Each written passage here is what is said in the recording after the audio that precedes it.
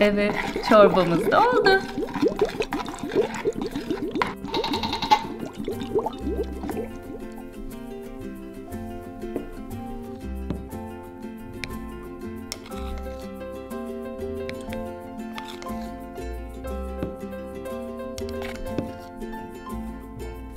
Irmak, çorban hazır. Hadi gel bakalım. Hemen içeyim de Pepe beni dışarıda bekliyor. Tamam, Pepe beklesin anneciğim. Güzelce çorbanı bitir. Bitmiyor. İçmesem olur mu? Pepe bekliyor. Olmaz Irmak'cığım. Oyun oynamak için de bir enerjiye ihtiyacım var. Bu yüzden çorbanı bitirmen gerekiyor. Tamam.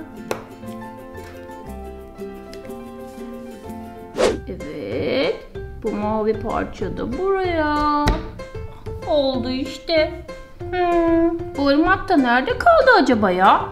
Irmak. Pepe, Pepe çağırıyor. Irmak. Neyse ki bitirmiş.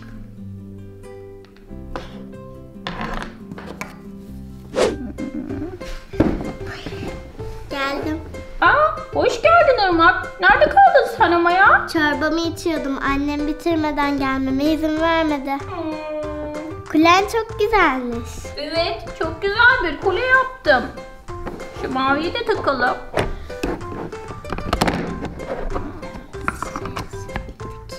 Güzel bir kale yapalım mı? Olur.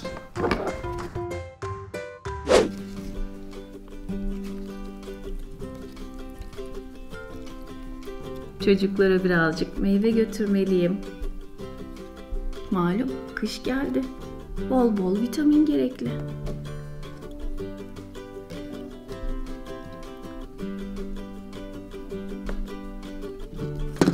Portakalımızı da yıkayalım.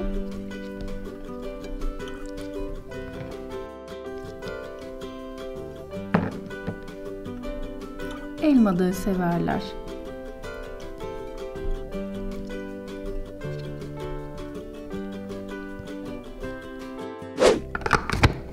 Kulemiz çok büyük oluyor Pepe. Evet Irmak, çok güzel oldu ama çok daha büyük yapalım. Tamam.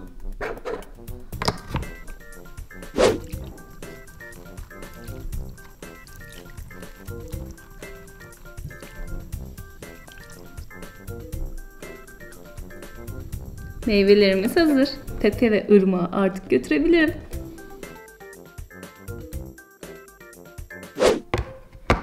Kulemiz bitti. Aa, Irmak, Pepe ne kadar güzel bir kule yapmışsınız. Bakın ben size ne getirdim.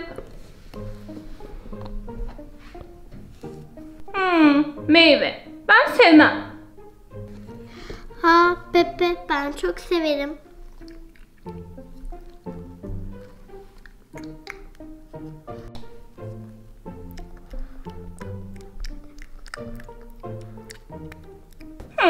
Sen yiyorsan ben de yerim Irmak.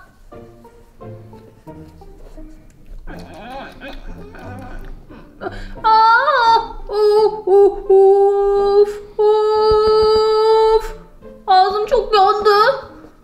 Aa, neden yandı ki Pepe'nin ağzı? Aç bakalım bir ağzını. Aa, aa. Aa, Pepeciğim, senin ağzında yaralar çıkmış. Ondan yanıyor. Aa, çok acıyor, çok acıyor. Peki ne yarası bunlar anne? Irmakçım, anlaşılan Pepe hiç meyve yemiyor ve dengeli beslenmiyor. Bu yüzden vücudu vitaminsiz kalıyor ve bağışıklık sistemi zayıflıyor Irmakçım. Bağışıklık sistemi nedir? Vücudumuzu dışarıdaki mikroplara karşı koruyan sisteme bağışıklık sistemi deniyor Irmakçım. Anladım. Pepe bak benim ağzımda yaralar çıkmıyor. Çünkü ben meyve yiyorum ve dengeli besleniyorum. Hmm, peki ben de artık düzenli besleneceğim. Ama bu yaralarımın geçmesi için ne yapacağım? Bunun için doktora gitmemiz gerekiyor Pepeciğim. Çocuklar, sizler ağzınızda yaralar çıksın istemezsiniz değil mi? Bunun için mutlaka dengeli beslenmeniz gerekiyor. Görüşmek üzere.